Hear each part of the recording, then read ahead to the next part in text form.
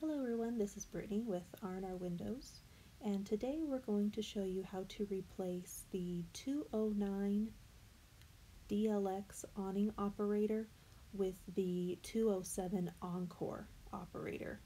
So here is the 209 Maxim DLX awning operator and you can see trying to crank it closed, it just spins and spins and spins and it doesn't close. That means your gear is stripped. Sometimes it makes a popping or clicking noise and it's time to replace it. So first you're going to slide back the clips on the arms to remove them from the black slider shoe. And if you need to replace those, that's part number 213. They come in packs of twos if needed.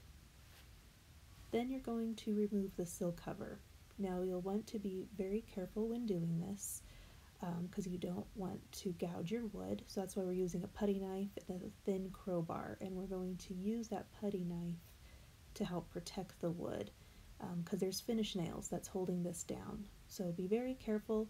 If your wood is brittle, you are able to bust it really easy. So you only want to put it where the thicker part of the wood is and take it out. So take your time while doing this. If your windows are painted, you might need to score that line before you remove that sill cover.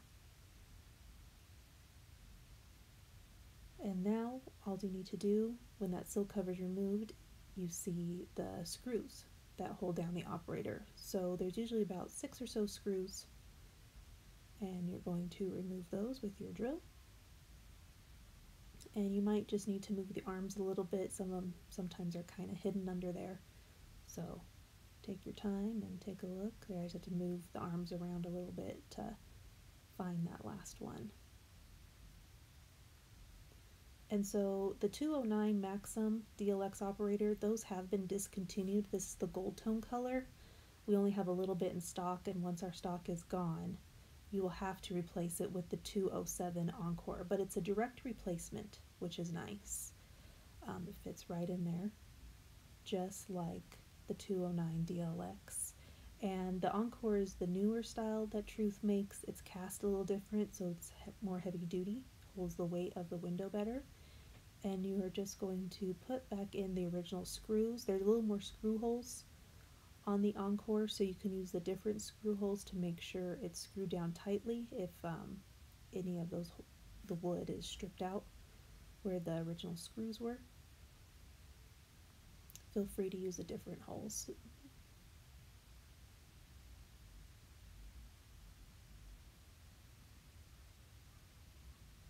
And this is an awning window. You can tell that it's an awning window because when it cranks out from the bottom out and it's hinged at the top. A casement window is different and it has a different operator. The operator um, is on the bottom like this and looks really similar when the window's closed, but it has a different arms when you open the window, and the casement window is hinged on the side like a door and cranks out. So once you have all the screws back into place,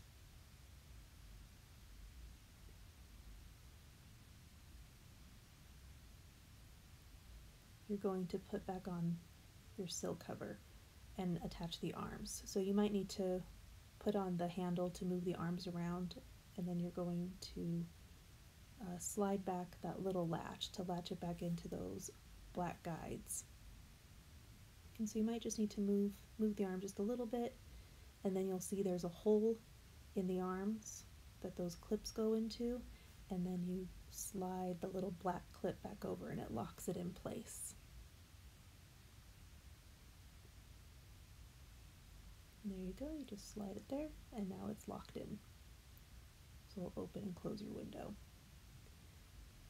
To put back on your sill cover, you can see that there's those finish nails. Sometimes you are able, if you're real careful, you can reline up those finish nails and starting down on one end, you can just lightly pound them down with your hand and take your time while doing this and wear gloves um, if those nails come through, you can stab your hand and hurt it. So make sure you're wearing protective gear so you don't cut yourself.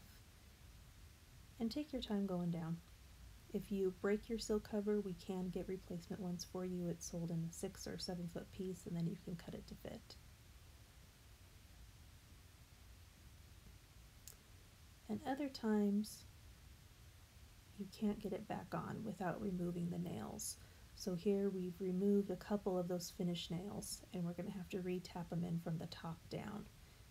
And you do the same thing, you start at one end, we're able to line up just a couple of those nails and put them down in there. And then you're going to see Ron put the finish nails in from the top and then tap them back down in.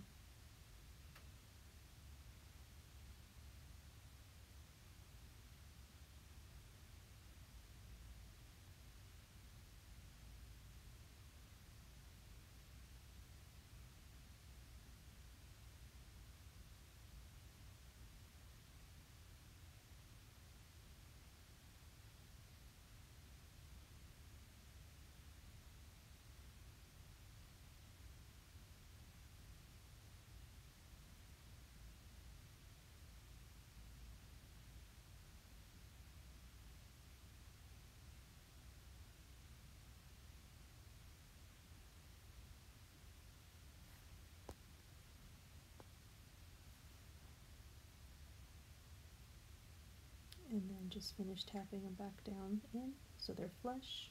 So your screen frame or your screen can fit back in.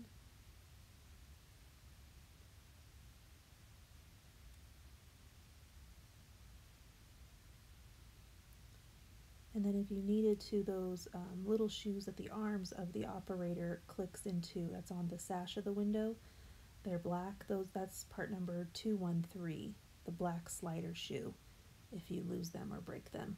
We do offer those as well.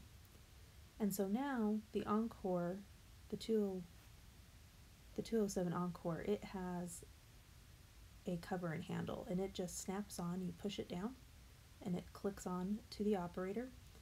And then you have a nice nesting folding handle that it comes with. And so this is the new style gold tone color um, that there is. the closest match to the original 209 DLX Maxim Gold Tone. It's a little bit more green, but a close match. And when you go to put on your handle, you want to, when you fully close the window, um, you want it kind of facing down and to the left. And so that way it holds in your window tight because the older Hurd windows, the awnings didn't have locks on them. Um, so this will help keep your window locked down to place. And so there's just a little set screw that you have to um, open up. And then you just kind of mess with your window. Close it all the way, see where your window, your arm ends up. See, I didn't like how I closed it, so I repositioned it a little bit to see how it would do when it would close. And now it's closed nicely.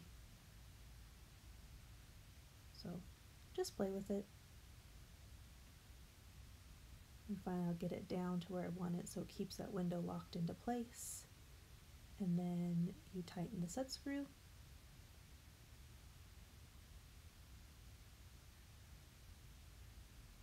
And then your handle will nest right down into your cover. Once that's completed, you can install your screen again and you're good to go. Thank you so much for watching.